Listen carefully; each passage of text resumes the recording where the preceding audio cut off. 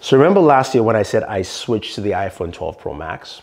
Yes, guys, you're reading the title properly. I did switch to the iPhone 12 Pro Max for two months. Well, I am now using the iPhone 13 Pro Max and welcome to my long-term use of this device. It's about six months or so. And don't worry guys, I still use my Android devices. I use both of them on a day-to-day -day basis. But this video is not just a you know, standard long-term review.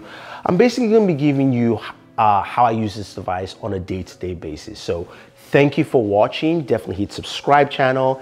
And this is Ikechukwu Igwenu from Bored at Work. So the iPhone 13 Pro Max, right? I have both colors of the devices and I have to tell you, uh, it's a device that actually is very comfortable to use. I'm not a traditional iOS user and it's something I've come to learn over the last, you know, couple of years and how easy it is to use an iOS device. And that is some of the thing that actually plays along the way. So I'll start off with one of the best benefits of having the iPhone 13 Pro Max, which you all know is the battery. Now, the reason why I like the battery is because when I, you know, start my day, I go say grab coffee in the morning or grab a quick lunch, uh, I can use my battery from place to place and I still have some really good battery life on there. That is actually one of the best things is that you can wake up in the morning and go from say 9 a.m. to maybe about 11 at night and probably still have about 20% left on your device, which is great and quite impressive compared to even my Galaxy S22 Ultra. I can't last that long using it uh, on a day, daily basis. So for me, that is very important and that is very key. So this allows me to do a lot of things. It allows me to go out and take photos and take videos, uh, especially when I'm going to this awesome barbecue spot, uh, by the way. If you're ever in Clifton, New Jersey, I just have to shout them out because they make some really great barbecues called um, All the Smoke. Definitely check it out though. The barbecue is really, really good. Oh man, it's impressive. Daniel was salivating. He was so hungry. He ate like, you know, two pounds of barbecue. Actually, I'm just joking. No, he didn't eat that much. but anyway, um, you know, being able to use my device there and capture content is great. Now, this is the second part of the iPhone that I really like are the cameras. I would say in terms of photos and images, the cameras from last year and the cameras from this year are very similar uh, in, in most respects. They do a really good job in photos. Uh, they do a really good job in capturing. HDR is really nice. Uh, the one part I'll say that hasn't really improved as much for me is uh, the portrait photos. They're great. Uh, but I think for me and my skin tone, there's certain things it doesn't capture as well. So I'll just put it that way. I do like them, but I think there are better cameras out there for that. Now, when it comes to video, this is where the iPhone basically holds the mantle. Like I, I can't deny it because a video quality on the iPhone is, is impeccable. Now, Daniel will tell you that when it comes to recording, me holding the camera, my hands can be a little bit shaky sometimes. You know, he calls it little earthquake motion. And having the kind of stability the iPhone brings is truly impressive because I can use it to capture content uh, anywhere I go. And also the cinematic video really comes out really well, even though it's a 1080p, but front, uh, the front facing camera, as well as the rear look really nice. So it's something the iPhone does well that no other phone at this point in time that, that can compete at that level. So cameras are really good. Because I use the cameras quite a bit on the iPhone, there's something that I also use a lot. And that of course is, I was gonna say Final Cut. and that of course is iMovie. I know, right? You guys are like, seriously, man? iMovie? Yes. Uh, I use iMovie a lot to edit my TikToks and my Reels. Yeah, you can see I have about 260 different edits on here. And it's really impressive how simple and easy to use. This is probably my most used app on my iPhone uh, because it allows me to jump in, scroll through, scrub, cut, pin, edit, and just have something going and ready to move. I can also do voice recordings on there. Um, I can also add soundtracks if I want to. But again, it's an easy tool that allows me to quickly make my TikToks and my Reels. I don't have to use my Sony uh, camera, which is in front of me. I can literally just use my iPhone, either one of them, to capture content and it is absolutely fantastic. Now, this allows me to use my other app, my social apps like TikTok as well, as, as well as also um, IG because that's where I drop that kind of content.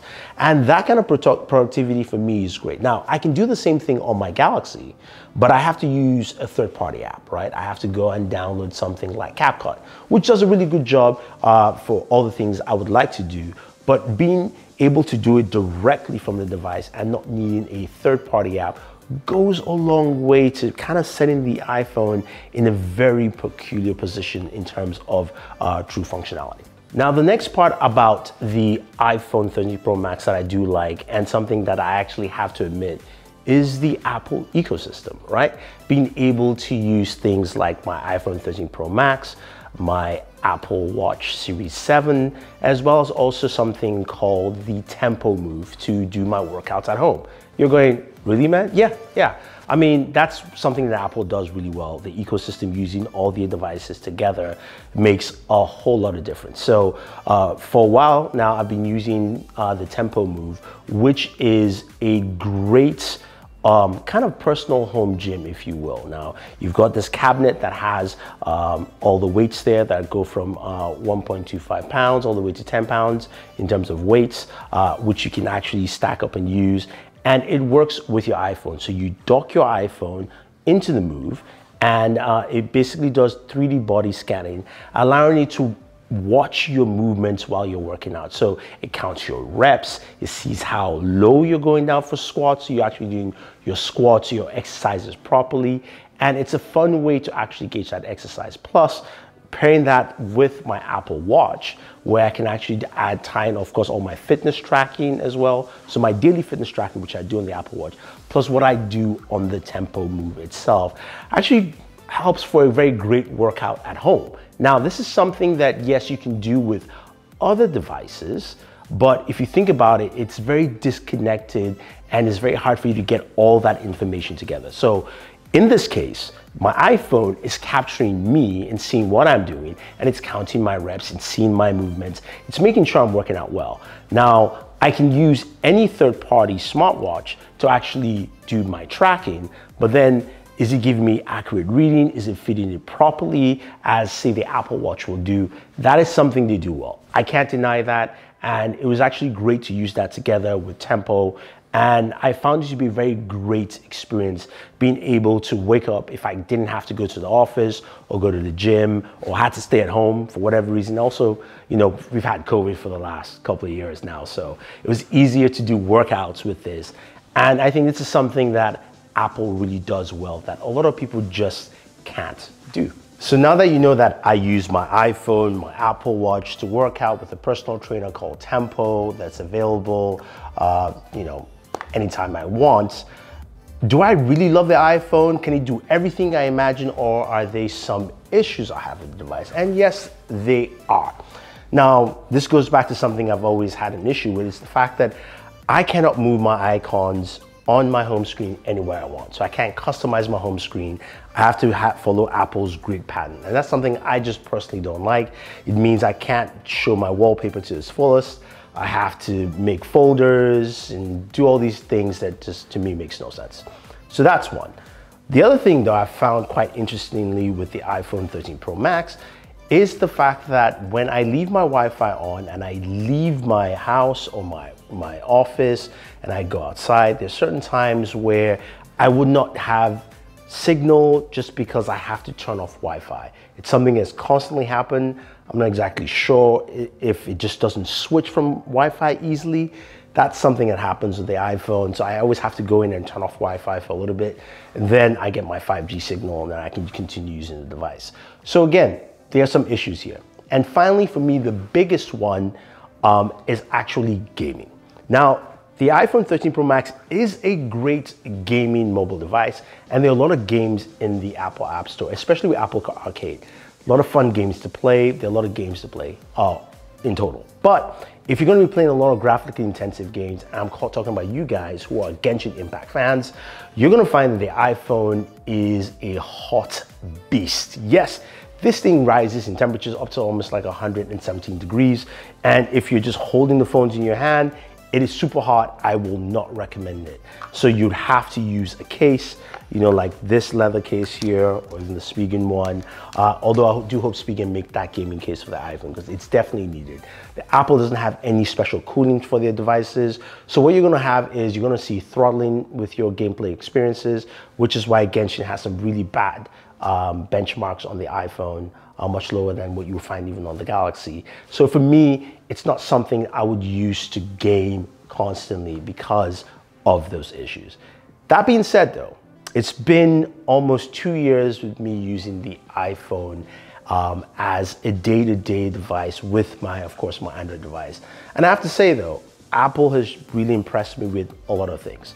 Uh, as I've mentioned in this video, the things they do really well that I think a lot of people like, and the ecosystem is something that is hard to beat. So would I recommend the iPhone 13 Pro Max to anyone who wants to pick it up? Yeah, if you like the iPhones, I mean, there's nothing wrong with you. I claim this to be the best iPhone pickup simply because bigger is better. I mean, I'm sorry, the mini is just too small for me. This works, and I think this is pretty solid. So if you guys have any questions or any comments about the iPhone 13 Pro Max and what it's like to use it you know, in the last six months or my total usage for a year and a half, let me know. Otherwise, guys, don't forget to like, share, subscribe, and always enjoy your pork chops.